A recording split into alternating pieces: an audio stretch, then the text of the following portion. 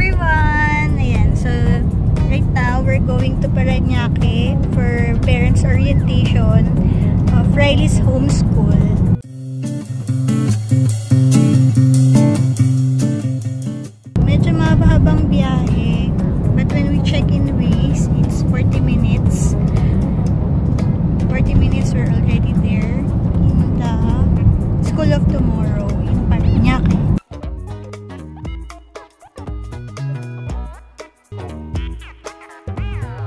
As you can see, wala pong traffic since it's holiday.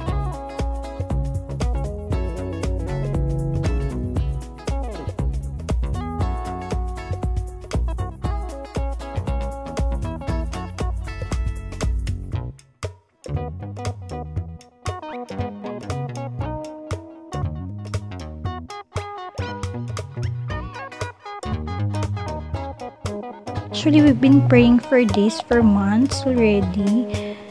That God will give us wisdom to have the right decision for this. Homeschool ba, private school, or public school? So, it's really hard to decide what school. Because we're considering the time na mga anak na ako soon.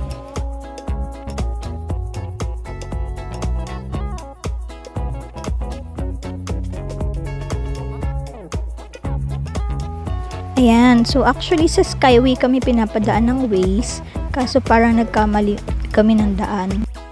Buti na lang walang traffic, so blessing in disguise na rin kasi alam ko mahal yung Skyway yung bayad dun. So kahit di kami sa Skyway dumaan, mabilis lang yung biyahe.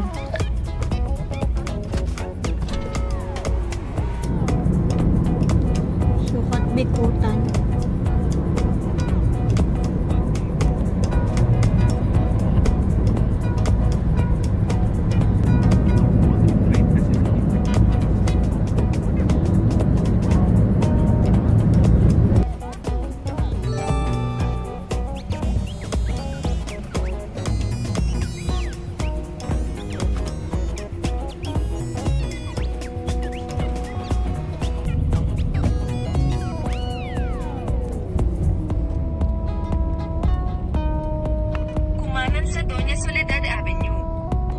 Maliwa Russia.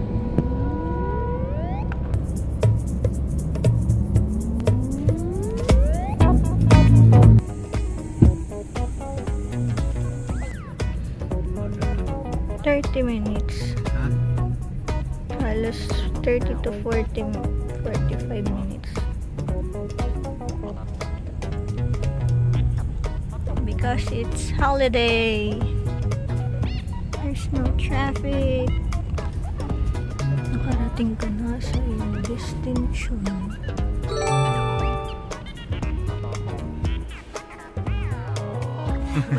Wala pa.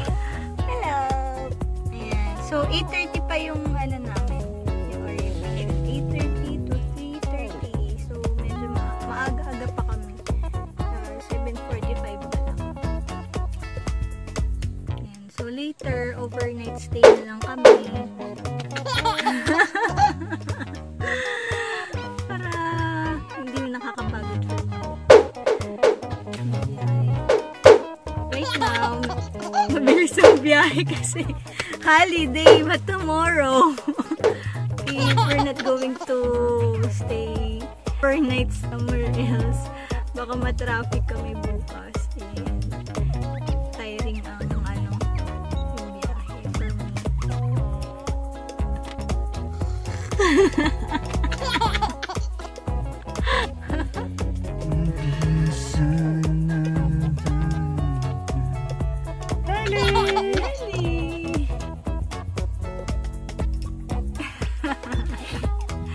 Sabihin na naman niya bakit wala siya. Ayan, nandyan siya.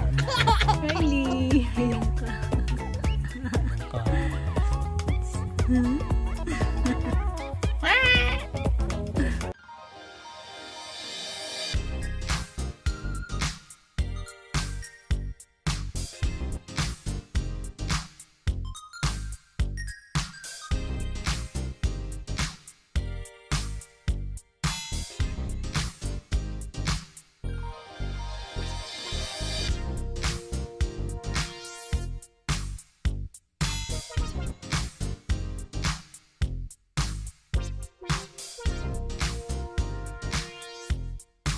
And so this is the address where we are going to stay overnight later. Malapit-lapit lang din siya dito sa school. Very peaceful environment. So they have gym.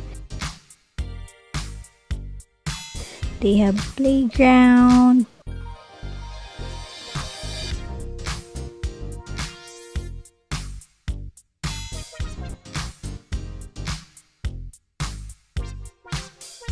Meron din silang library dito for the regular students. And so, pwede na kami sigurong umakyat. Tara. From cashiering. Ayan. So, upstairs, going to different departments. They have lounge here. From 8.30 to 3.30 p.m. ang aming training for today. Dito kami sa homeschool department. Since holiday, sarado ang kanilang canteen, so buti na lang meron kaming baon for lunch kasi malayo-layo pa daw yung kainan dito. So, sa first day of training, more on discussion and application, then activities, kung papaano yung ginagawa talaga sa bahay. One thing I love in the morning discussion, they focus on what is being taught in the Bible, which is the truth. They even taught us the importance of homeschooling. So for application, uh, they taught us the proper use of flags, the Christian flag and the Philippine flag, even the right words to say when you raise your flag. And so we're done in our training. We're here in the one blessed place. So here's their lounge. Pati yung may-ari, ayan din po, si Miss Ads. So, here's their uh, dining area. So, sa first floor ang kanilang dining area.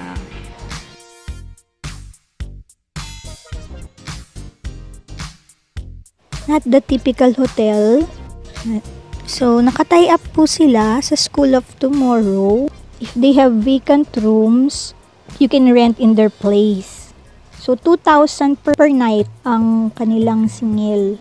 Ang rooms sa pinakataas, third floor. Buti na lang hindi ganun katataas yung mga yung hagdan nila. Yung dinner namin, they will just bring it later. So, bukas na ang baba ko. Para it won't be tiring for me.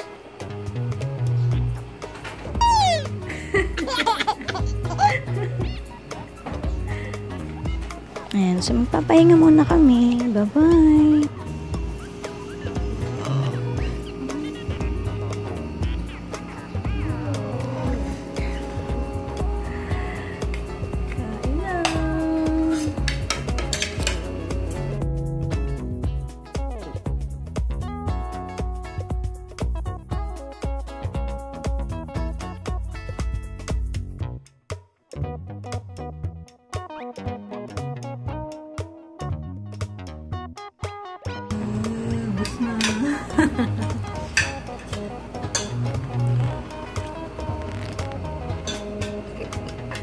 Yung bathroom nila nasa labas ng, ng pinaka-room.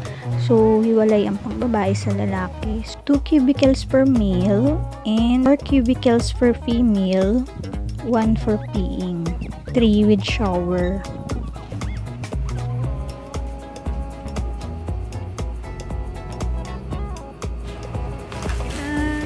Food trip. Pait mo ah. Nakakapagod kaya mag-aral. Pagod. Nakakagutom pala. Hindi pa nga ako nagsisimula, gutom na ako. Nakita ko pa lang to, nagutom na ako.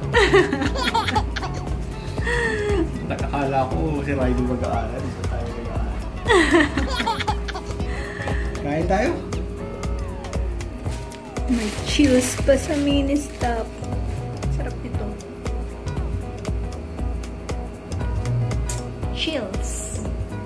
chills. Happy anniversary. Food trip. Mukbang. After dinner. Kain na naman. Ang aga kasi namin 6.30. Parang merienda lang. Ang laki ng kaga! Si Boy gutom. Hindi pa nag i-start mag gawa ng assignment. Gutom na naman. Ako gutom, pura pa lang eh.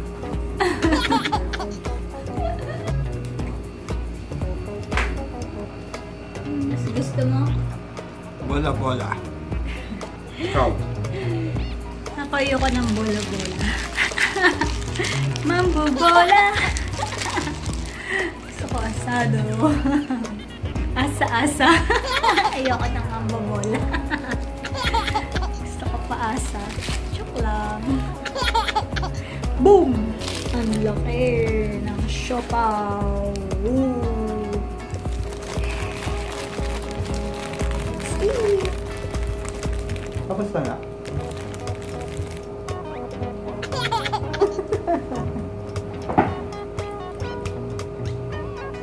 Pagkatapos, kumakain pa ako.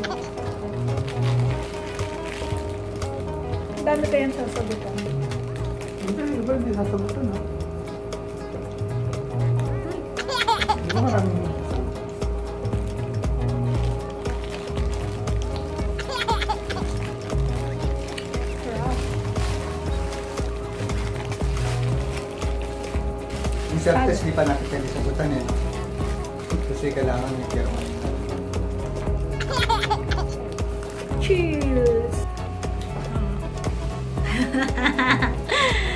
Tapos na kumain si Dudong. Ready ka na? Ready na matulog. Busog na ako na.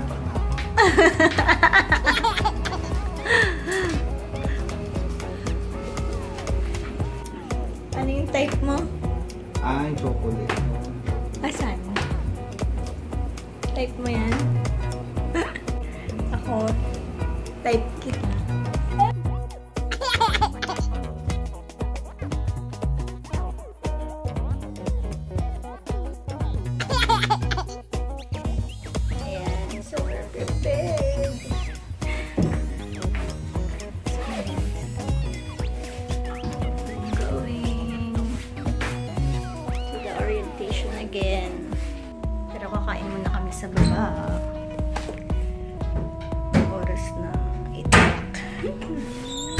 Bilisan namin.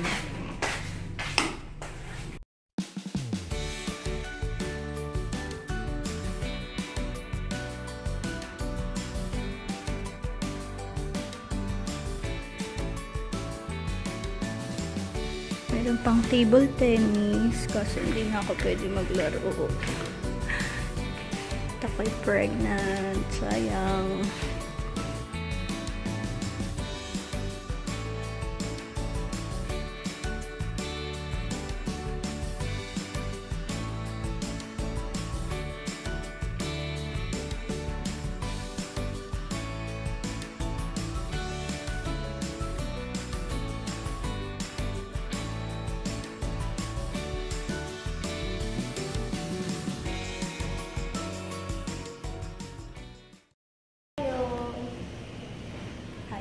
Breakfast. We're going to the training.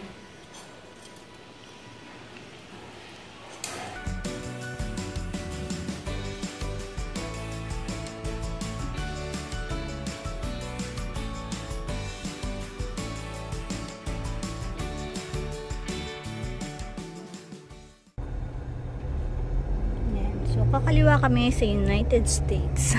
From United Nations. Galing sa One Blessed Place.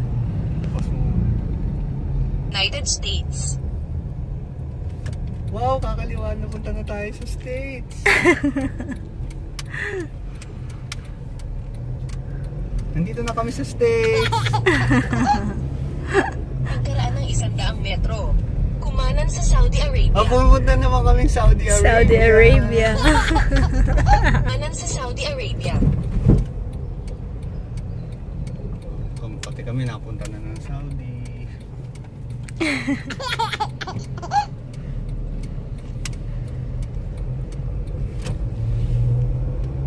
Masyado na tayong well-traveled. Nakakapagod. Puro jet lag kami. Pagkaraan ng isandaang metro, kumaliwa sa Wales. Oh, sa Europe naman tayo.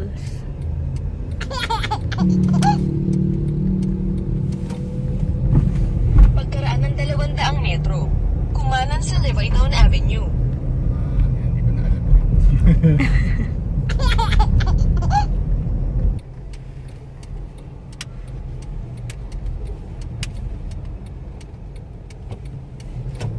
Pwede mo nang hindi. We're here.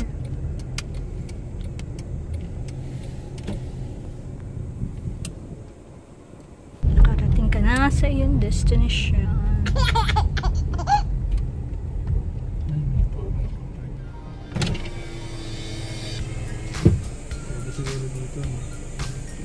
For the day 2, parent orientation and training.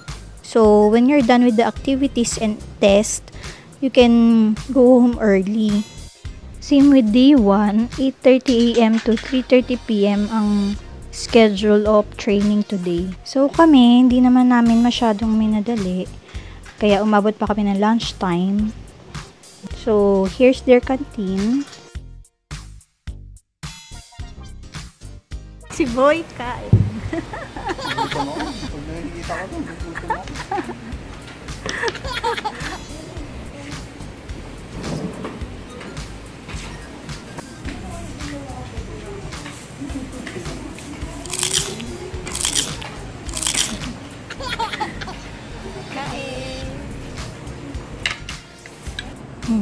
sagot na tayo. Idlip lang. Idlip ka? Lagay mo muna dun sa table dun. Hindi, lalagay. lalagay ko nga dito eh, para ano, pumasok sa utak ko yung uh, sasagutin yan. Ganun.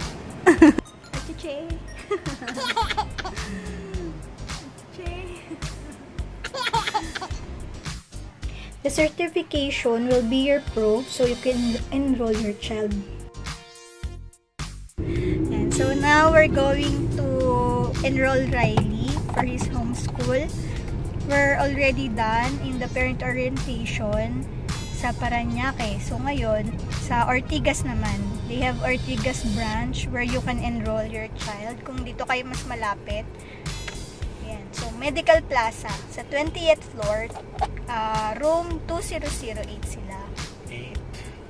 Oh, yeah. 2008. Oo. So, this is where you can enroll, you can get your materials, yung mga books, ganun. Pwede ka rin kasi mag-diagnose diagnostic test dito sa Ortigas. Pero for the parent orientation, sa Paranaque pa kasi.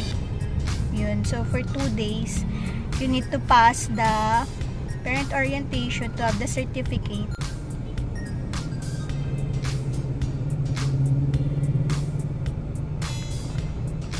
Sa kaliwa patungong U-turn slot.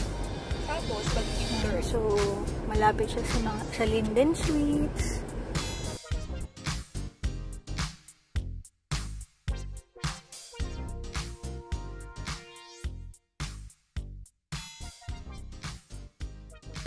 Din ng Richmond Hotel. Katabi niya ang Richmond Hotel. Medical Plus.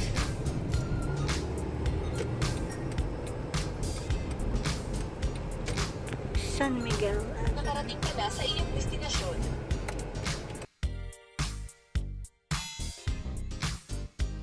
So, magbabayad lang kami and then we will wait for the materials so we can start for the homeschool of Riley. Yung certification na lang ang dadali namin. Other requirements we've already passed last time when Riley had his diagnostic test.